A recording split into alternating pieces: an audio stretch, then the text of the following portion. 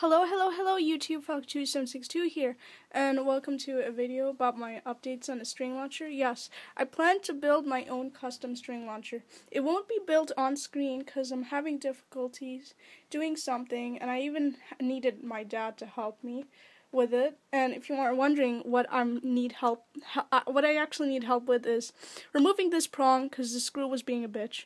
And actually, closely, if you can actually see we actually broke the screw. Yes, it's no more crosshead anymore. Yeah, no matter how many times we try, we broke it. So, um, now there's no end, uh, I'm not saying that there's an end to this, that I cannot actually and physically uh, remove the prongs to this L-Drago left spin launcher, because uh, I really decided to make this into a custom string launcher, and the where uh, to where I actually get this the string from is from this little thing. I actually have no idea what this is but this is going to be my own custom string launcher. I'm going to take the technology out of this and insert it into this. And why am I why why is my hand being very clumsy today? But anyway, guys, um uh I plan to make a right spin launcher. I can't do LR cuz I don't have another one of these. Um so I actually took the prongs out of my silver uh out of my silver Tornado Pegasus launcher. Yeah, with the Storm Pegasus decal. Um, as you can see, if you're curious what's inside, uh, this is your right spin prong to it. Yep. They have many ridges, and I'll tell you what th that is about if you're curious and you're wondering why. You have this little uh, wheel thing that goes along with your ripcord. You know, whenever you insert it, it rotates. Yeah. But when you take it out, sorry guys. Is it good enough for you? Okay, good.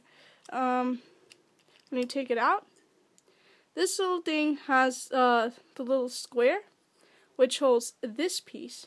If you're wondering what this piece does, you have these little ridges inside. If it's like, uh, like in this, oh, sorry. If it's like in this kind of form, that's why you see the prongs are a little bit loose. But if you twist it, and that's what the little ridges are for, if you actually see it like this, then it's a little bit locklier. It's like like tight. It's no more loose anymore. So that's the purpose of this thing. I don't know what it what it's called. Um, then you finally have the screw. So I purposely took this prong away from. Go away! Go away! I purposely took this prong away from my Tornado Pegasus launcher. Sorry, that was my mom interrupting.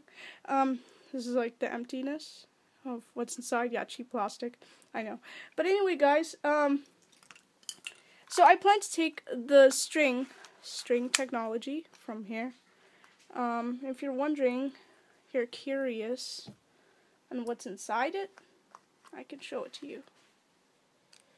This is what's inside it, and this is what holds and retracts.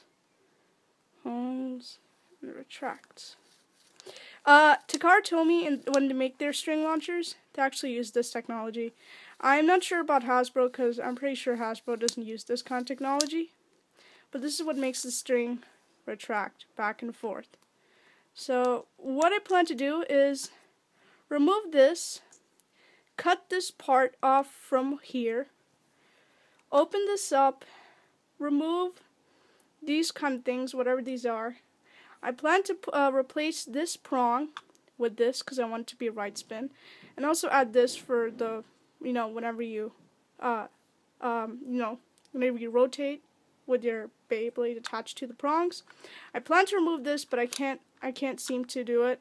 And I, I'm 100% sure that this fits neatly inside my thing. So now, when I take my grip launcher, um, the thing is, when I, when I, when I insert this inside here, uh, I'm not going to drill a hole in here so that, like you know, like average string uh, string launchers look like when you pull it from the front of the launcher like this. I'm going to use either of these holes to make to have it as a string launcher. So, for example, if my um, for for example, if I'm launching it like this, I can launch it from a standard ripcord fashion like that. Or if oh sorry guys, if it's uh launched like this, then I have to do it reversed, which is from this hole. Yeah, like that. uh, not like this because I found it like very uncomfortable, but like like this kind of launching position. But anyway, guys, and get the Jiffy, get understand the idea. So those are my plans of building my own custom string launcher because I still can't find a real string launcher yet. Uh, but anyway, guys, I think that's about it. Please like, comment, and subscribe. I'll subscribe back to you. Don't forget to put the sound English automatic captions, CC button down there. Um, you see you next time, guys, my bay videos. Unless I get this done, and I'll show it to you finally if it's successful. Bye, guys. Falcon276 out.